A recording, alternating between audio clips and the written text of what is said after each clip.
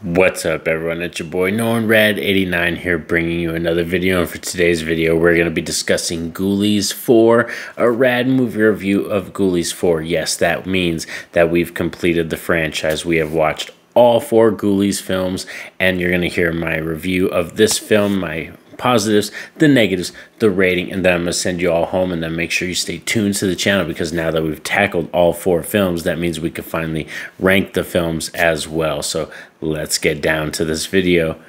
Roll it.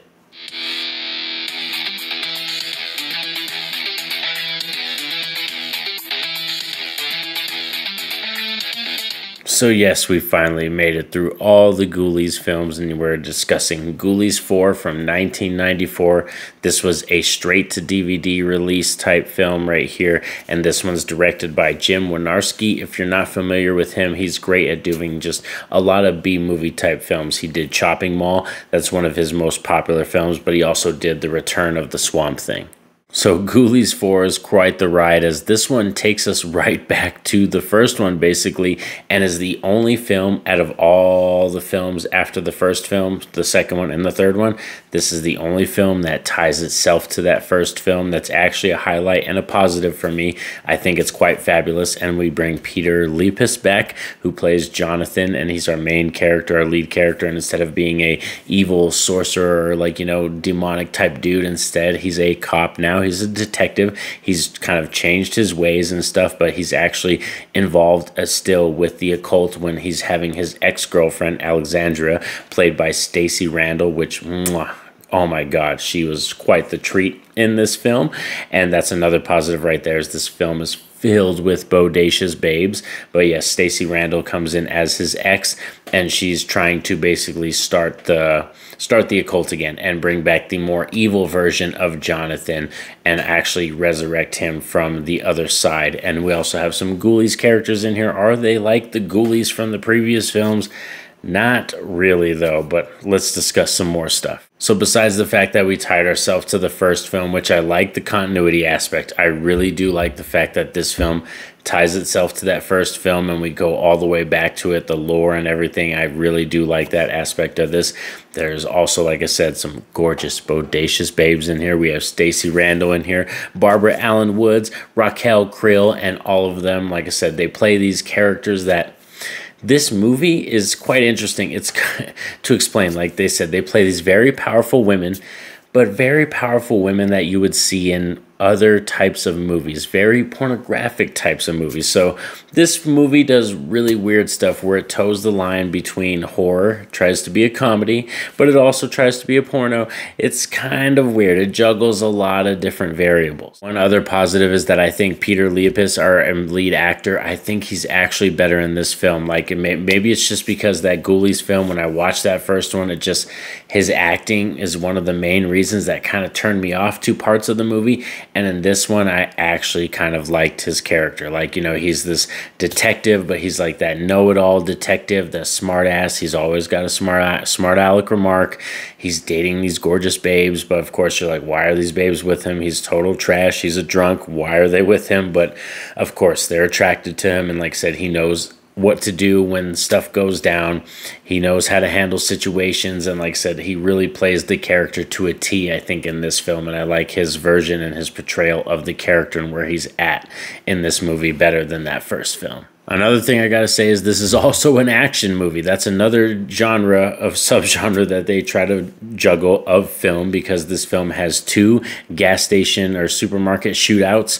We have a lot of guns going off, a lot of explosions. So this one is a lot different from the previous three films because this one is heavy, heavy action elements. So yes, like I said, there's an action film in here. There's a horror film in here. There's a porno film in here, and there's a comedy film in here, all mixed into one, jumbled into one big ball. So let's get into the mix and negatives because to say honestly, this is not a perfect film. Definitely leaves you with a lot to be desired, but I'm gotta be honest.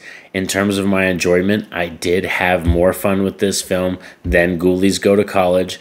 But like I said, let's get into some of the mixed and negatives. And one of the negatives, the hugest one, is they decided to change the ghoulies, vastly change the ghoulies. Instead of being puppetry work or anything like that, or animatronics at all, they're actually small actors in bodysuits in this one. and variably, very horribly designed bodysuits, I might add, and the mouths don't move. The comedy is very slapsticky. This is where a lot of the comedy elements come into play is with these ghoulie characters, these two, because they're like buddies, but they slapsticky, very comedy heavy, and I just, yeah, it came out of nowhere and like the design like i said is a vastly great difference from the previous films. I know there isn't really a set design for a specific what a ghoulie is but it's not what's in this movie they look more like trolls to me. Another thing is, like I said, with the whole balancing of tones, I really did like the aspect that this film does take it to a point where it becomes so bad that it is funny. That is one thing that I forgot to talk about in my positives. This is one of those bad movies that does approach the so bad it's funny territory, especially with Alexandria, which is played by Stacie Randall, which is Black Widow in this film, kind of trying to bring back and resurrect the occult and stuff, and is a supporter of that, you know, the type of people. So it's very funny to see her in here. But she has the black leather outfit.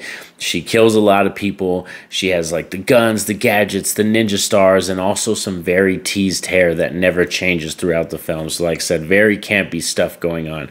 But the fact that they try to juggle the jungle juggle being an action film, being a comedy film, and being so many different types of subgenres that actually does hurt the film too as well. Another thing that I have to talk about, and this is a spoiler one, spoiler alert just in case if you're gonna watch this movie and if you want to check this movie out, I streamed this one free on Freevee. That's where I streamed this one. But if you are gonna check this film out, like I said, spoiler alert with the ending, they do tease a Ghoulies 4 Part 2, and we're probably never going to see that. So that's another negative right there. Is that, like I said, I had a more enjoyment with this Ghoulies 4 movie, but we are never ever going to get a continuation of this film. That's another negative right there. So yeah, this film, like I said, leaves a lot to be desired with the fact that it tries to juggle too many tones. It's got this really weird nature where it has, like I said, it ties itself to that first film, but it has ghoulies that look nothing like the first film at all. So it's like, why did they decide to do that? So yeah, there's a lot of questions, a lot of concerns that go into with the final product of this movie.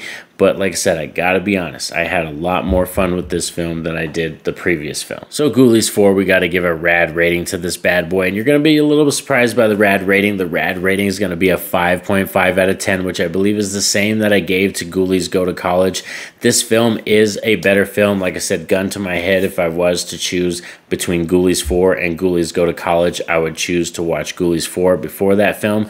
Another negative I kind of meant to say about this film, I forgot to say just now, it just kind of popped into my head, was we had all these bodacious babes in here, and we have no nudity in this film. But we had nudity in Ghoulies Go to College. So by this point, I'm like, really? We already approached the whole sleazy, you know, slutty kind of nudity thing going on in the third film. I think they should have just kept that tone going, and for real, they would have just been juggling some other kind of tone of subgenre, and it wouldn't have really mattered. And I think, to be honest, that would have helped Ghoulies 4 more, and it probably would have bumped it up to a 6.5 if they had that going on. But like I said, 5.5 out of 10, and now that is it for the Ghoulies franchise. I have watched all four films and now the ranking video will be dropping pretty soon, so make sure you stay tuned to the channel. Like the video, that definitely helps out the channel. Subscribe if you're new to the channel and have that notification bell poked so you're notified anytime I drop a video. But most importantly, you all know what's up. Have a safe and happy day.